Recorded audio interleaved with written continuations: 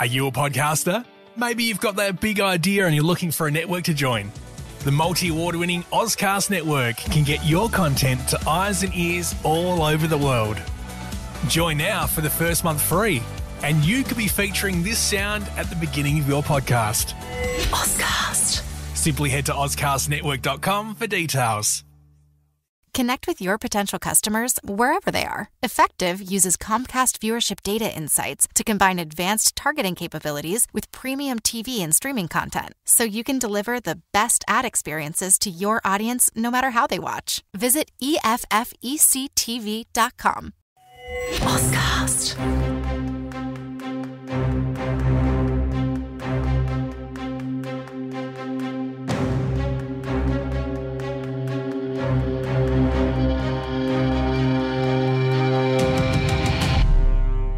Welcome to Strategikon.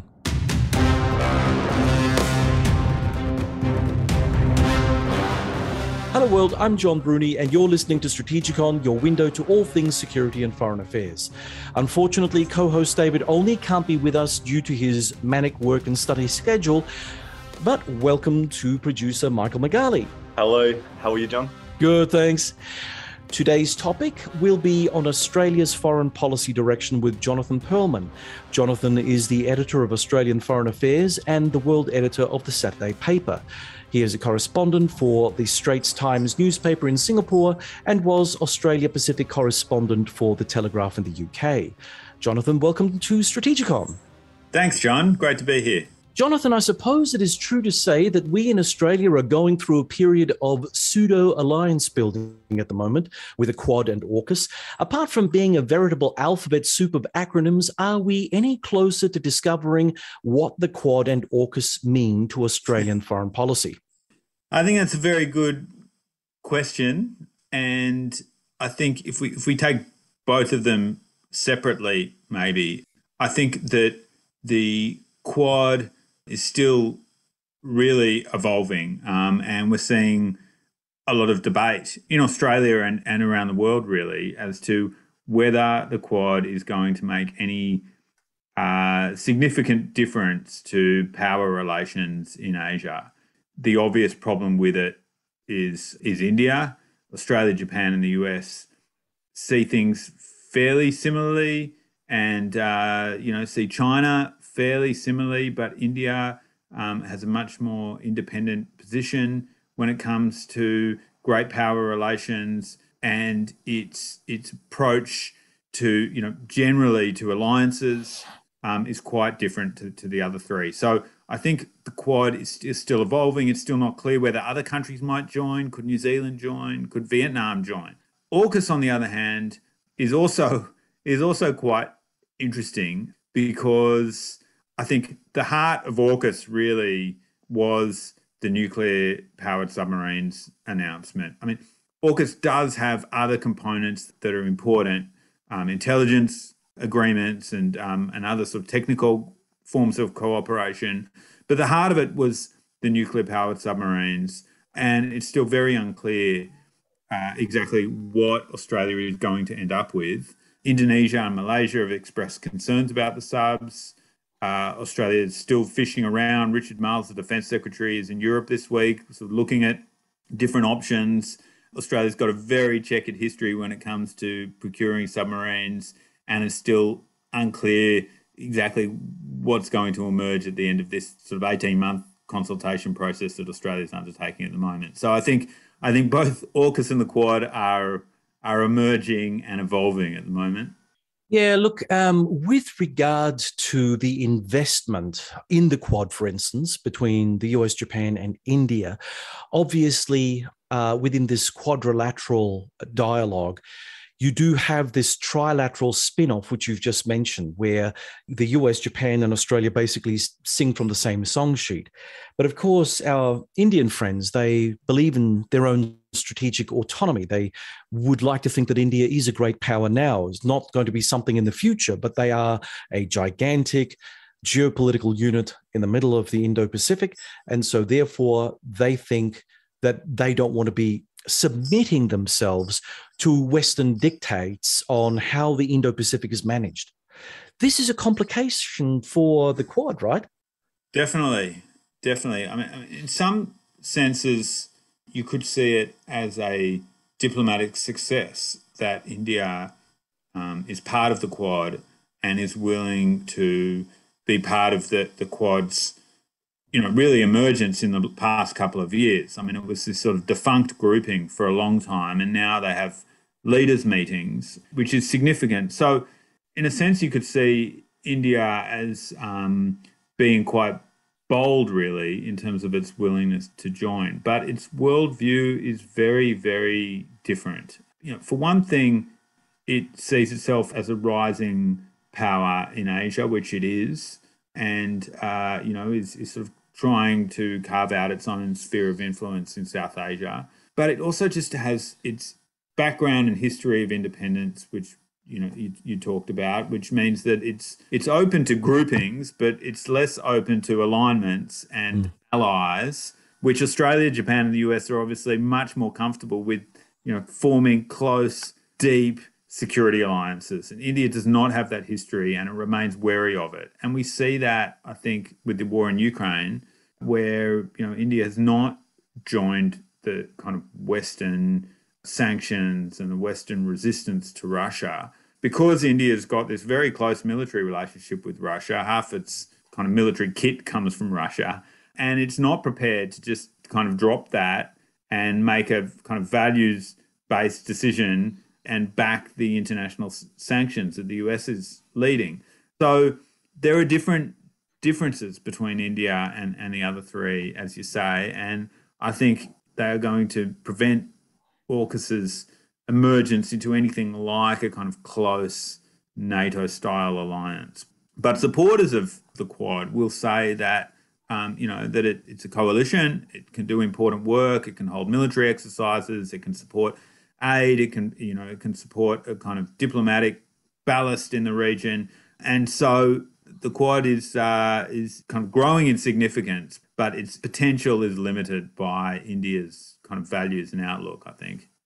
Actually, we'll return to the uh, the odd man in the room, India, a little bit later. But for now, I'll go back to AUKUS and I'll ask the same question. How invested do you think the US and the UK are in AUKUS? It seems that Australia is doing all the heavy lifting on AUKUS because we want nuclear powered boats.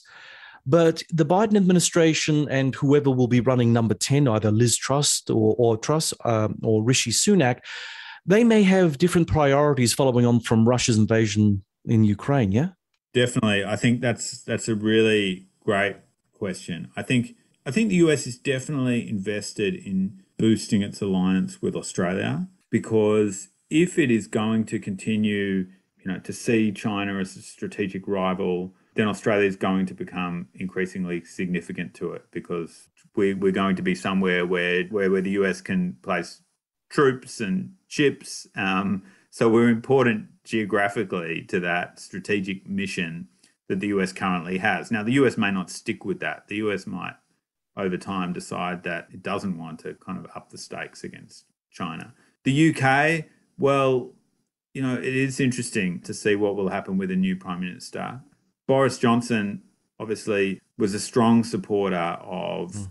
the UK becoming an important Pacific power again and under Johnson, as even as foreign minister, they started to look to open new diplomatic presences across the Pacific. But you know, Johnson's on the way out, and uh, and that can change. So I think you're right. I think it's really hard to predict, and I think it's a really interesting question to raise the extent to which AUKUS is dependent on the leaders and the administrations in London and, and Washington. We're seeing con- continuity in Canberra with the Albanese government, but it's really hard to know exactly how how continuous it will be as administrations change in, in, in, in the northern hemisphere. Yeah, it seems to me that you know you can have leaders summits, you can have leaders talking about policy, but in the end, you know, it's it's about the government signing off on properly structured policy, which makes more sense for countries like Australia because we are the smallest of all the countries that we've mentioned, both in the Quad and also in AUKUS as well. So, if we want to guarantee our role in these kind of structures, these structures have to have more than they currently do have. At the moment, they're very loose arrangements that, as you rightly point out, they, they may grow, they may stop still, they may atrophy over time or be dropped altogether, depending on how the more powerful leaders in these respective groups behave or choose to behave, right? But yeah. if we turn to the Albanese government's foreign policy, how do you think it's progressing? I mean, he's he's done a lot of traveling in his first few weeks in office, including to the Ukrainian war zone. Has this traveling done anything to benefit Australia in practical terms? Uh, I think in the Pacific it has. I think that it was surprising, you know, that Marise Payne didn't travel to the Pacific after the Solomon Islands kind of security deal with China was announced, and Anthony Albanese and and Penny Wong uh, were both well. Albanese went for the Pacific Islands Forum to Fiji, but um, but both have been to the Pacific. Penny Wong got signed in quickly as foreign minister so that she could attend the Quad meeting, but then she was hardly back in Australia a few hours, and she turned straight around and started going going off to the Pacific Island. So I think that outreach has helped to build relations and to kind of send a new message. But of course, Australia's new kind of more ambitious climate policy has been crucial to that because it's allowed it's allowed the government and the Albanese government to kind of send a message that it's a real reset, that it's not just about flying visits, that actually there's some policy behind it. So I think that's been quite successful. I mean, definitely it hasn't it hasn't persuaded Solomon Islands to kind of switch tack. It's still pursuing close relations with China. But I think it's helped to kind of build new relations in in the Pacific. Elsewhere, though, I th- you know I think it's a work in progress. I think it's been really good to see Australia start to focus again on Southeast Asia. I think that's really important. And Penny Wong's made visits to Indonesia and Malaysia pretty early on. Um, it would be great to see Albanese as well start to visit more countries in Southeast Asia. Australian prime ministers just seem to have stopped visiting places like Thailand and the Philippines. It's bizarre. So, you know, it would be good to see that increase. But I think beyond the Pacific and, and Southeast Asia, I think it's been really a message of continuity from Canberra. I don't think we've seen any significant changes in, in foreign policy or any significant change in focus so far under the Albanese government. You know, Jonathan, it's interesting. Traditionally, our relations with the South Pacific have been viewed by South Pacific Islanders in very negative ways. You know, we're the white neo colonial entity throwing its weight around and telling the brown people of Southeast Asia what to do, which of course offends them, and rightly so. But it puts Australia in an unenviable position because ultimately we would like to get South Pacific Islanders to become more coherently aligned with Australian foreign policy. We would like to act on behalf of the United States in certain ways and means in the region so the US can divest its in, interests in other places, like, for instance, Europe and Northeast Asia, where Australia's impacts will always be much smaller. Where do you think Australia is going to get the foreign policy now necessary to break this kind of deadlock and and allow us not just to talk at them about climate change, but to actually make them stakeholders in Australia's view of the region. Is that even possible? I think that's been a real problem for Australian foreign policy for, for a long time. Our ability, you know, to step outside our own world view and try to see the world in new ways and in ways that other countries see it. I think we haven't had to do that because we've been so fortunate because we've had an ally first in the UK and then in the US, which just happens to share our worldview and share our language and share our cultural outlook, but also happens to be the most powerful country in Asia and the most powerful country in the world. So we've just had this beautiful run where we haven't really had to think too much about how precarious things can get and about how different countries might have different approaches. And you know, if you look compare that with Southeast Asia, which has been caught in great power rivalry for so long, and the countries in Southeast Asia are very aware how things can change, how things can shift, how they need to understand how China sees the world and how the US sees the world. Mm. I don't think Australia's really, really had to do that. So I think that we definitely need to um, to start doing that, and the Pacific is is a really good example. I mean, the Pacific states do see China completely differently to yeah. to the way Australia does, and unless we understand that, and same for Southeast Asia. I mean, countries in Southeast mm. Asia also tend to be much more comfortable with China's rise. They might not like it, but they're not as fearful of it as Australia tends to be. So we're going to need to kind of you know understand the way other countries uh, view this region and view the world. But we don't have any choice because the world's changing and because we can't just sit comfortably as a sort of US allied corner, you know, Western outpost. Uh, Doctora Ramos, a la sala de espera. Hay un problema que afecta a muchos niños que no puedo resolver sola. Se llama estrés tóxico. Es la manera en que el cuerpo de los niños responde a experiencias difíciles, desde palabras bruscas hasta una pérdida dolorosa. Esto hace que sea más difícil combatir infecciones y enfermedades. También aumenta el riesgo de problemas de salud a largo plazo. Pero hay pasos que los padres pueden tomar para ayudar. Aprende cuatro cosas que puedes hacer para superar el estrés tóxico en first5california.com. Anymore, that's those days are, are ending. Jonathan, Australia's relationship with China has been grabbing national headlines. This was especially so under the former Morrison government. What do you think of uh, Foreign Minister Penny Wong's handling of Australia China relations? Is it better than that of the Morrison government or just superficially different? And the reason why I raise this is that, as we all know, there is continuity and discontinuity between parties and governments as they cycle through. So, what do you think are the main points worth taking away with regard to our current government's behavior toward China? I think it is largely superficial at the moment. I think that it's a matter of tone and rhetoric. I think that that's important um, because I think that some real diplomatic mistakes were made by the last government, which really undermined relations with China. And diplomacy is important, and how you speak and the ways you convey messages are really important. And I think that the last government made some mistakes when it came to how AUKUS was announced, failure to consult other countries in the region about that. Uh, when it came to announcing the COVID inquiry was poorly handled. So I think those things did not help relations with China.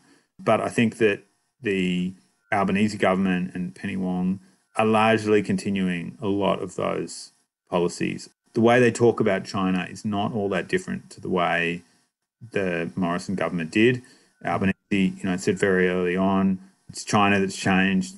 That's the difference. So I don't think that the policies have really changed. But one of the advantages I think democracies have is that you get to change your government and you get to kind of come in as a new government and cut a lot of cords, get some fresh air. And I think mm they've tried to do that. I think this government has tried to kind of capitalize on that, say we're a new government, we're open to talking, you know, we are changing our rhetoric, we're going to be less combative, we're not going to repeat Peter Dutton's lines about, you know, kind of war in Taiwan.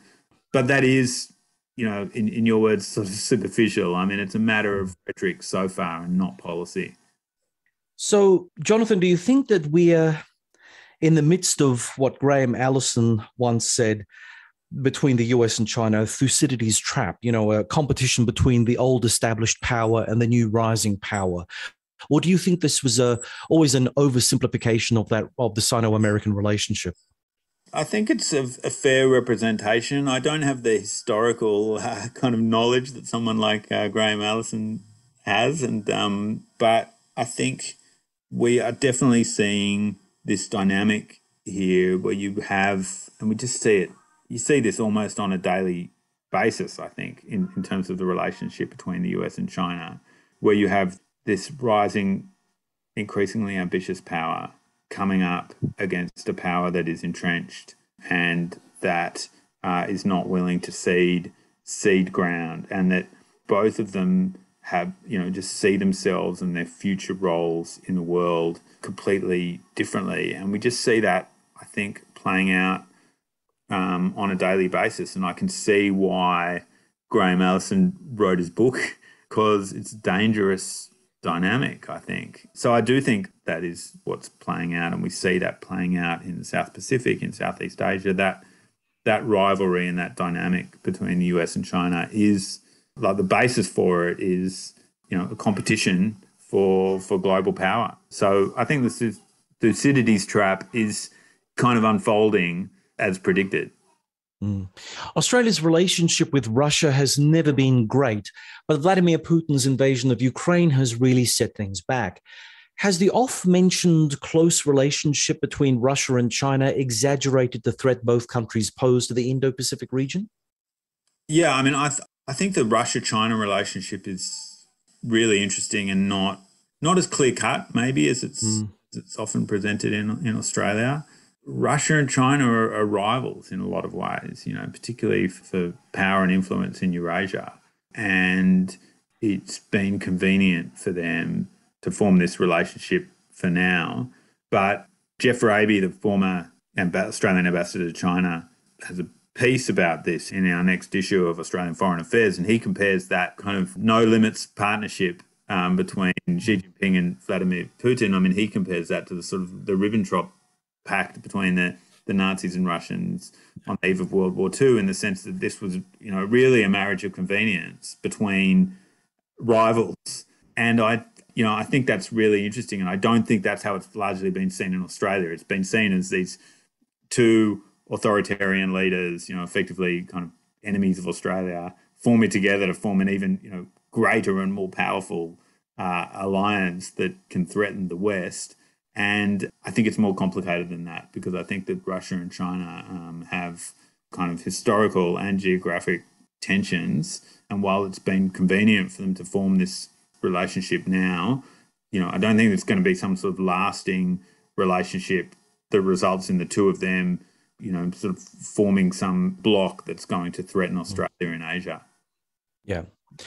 I'm John Bruni, and you're listening to Strategikon, your window to all things security and foreign affairs. And we're speaking with the editor of Australian Foreign Affairs, Jonathan Pearlman, on Australian Foreign Affairs. American analyst Peter Zeihan wrote a particularly pessimistic tome entitled The End of the World is Just the Beginning. My colleague David and I addressed this book and its main themes in our last episode. In his book, Zeihan raises a very good argument to suggest that the current international order is over, that global supply chains are breaking down, that global populations are generally heading towards negative territory, and that the world of the future will be smaller, poorer, and perhaps less developed than the one that we still live in. Do you agree with this assessment? It's very grim, isn't it? Uh, it is. I hope that I hope that that assessment is wrong it's hard to know. I mean, people always describe the current time as sort of you know an era of uncertainty and say that mm. things have never been uncertain. But that's sort of an easy thing to say, isn't it? Because there's never really any certainty, real certainty about the future. And I do think, you know, in terms of what we were discussing earlier, I think that for Australia, that uncertainty is is real. You know, we're not we face much worse times and more dangerous times in Australia than we do now. Um, and World War II was obviously, you know, incomparable in terms of the threat that we faced. But I think, you know, I think the world is changing for Australia in ways that just make our foreign policy and our diplomacy more complicated at the least. But, you know, whether those dynamics that we've been talking about, the China US rivalry, issues like Taiwan, um, are going to sort of explode and lead to you know lead to a real really bleak future i think that's hard to know. And obviously like i think underlying that comment that you read is the other threat of climate change which which is also potentially really bleak. I mean look at the crazy phenomena that are unfolding at the moment. Um, floods in pakistan the rainfall there has just been absurd in the last two months. And then the you know heat heat waves and drought across um, China and across Europe is kind of terrifying. Uh, so, to some extent, that might be more likely to cause that bleak future uh, that you've outlined. I mean, it seems now more likely to come from climate change than, than geopolitics.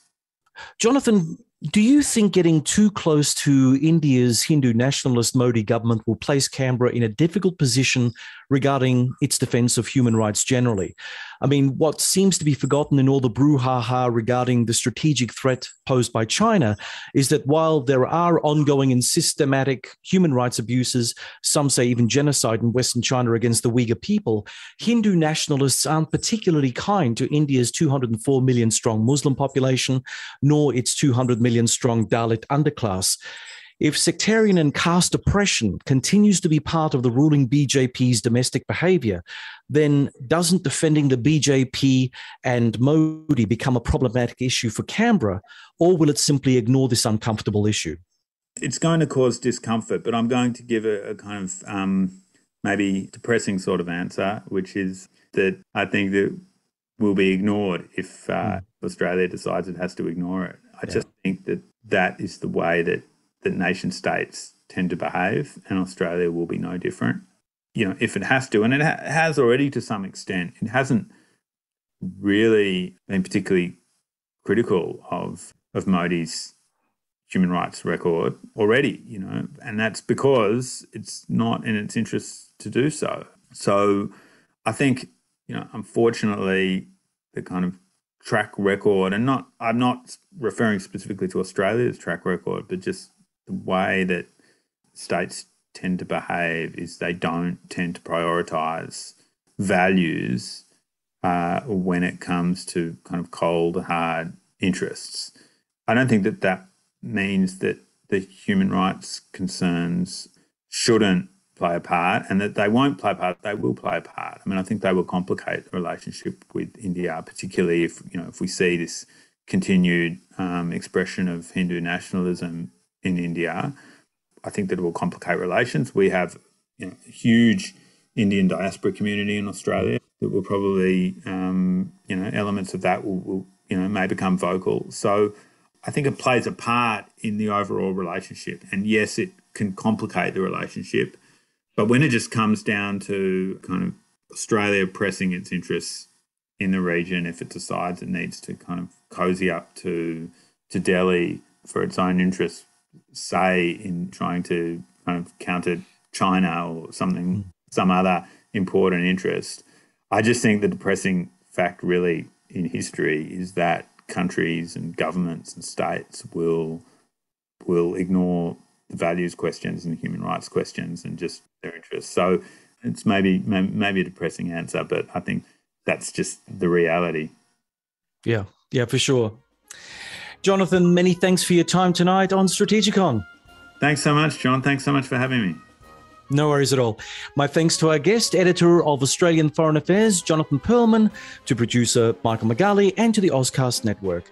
To our audience, thanks for listening. We hope that you'll join us for our next exciting adventure through the world of geopolitics. Remember that you can subscribe to the audio version of Strategikon through the Auscast Network, iTunes, Stitcher, TuneIn, and Spotify. And please like us on the Sage International Facebook site and follow us on Twitter. We appreciate your support. You can also watch our podcasts on video through the Strategikon Raw YouTube channel when they're available, easily accessed by clicking on the link provided on our website. Until next time, it's goodbye from me, John Bruni. You've been listening to Strategikon, a Sage International podcast. Auscast. Are you a podcaster? Maybe you've got that big idea and you're looking for a network to join. The multi award winning Auscast Network can get your content to eyes and ears all over the world. Join now for the first month free, and you could be featuring this sound at the beginning of your podcast. Auscast. Simply head to AuscastNetwork.com for details.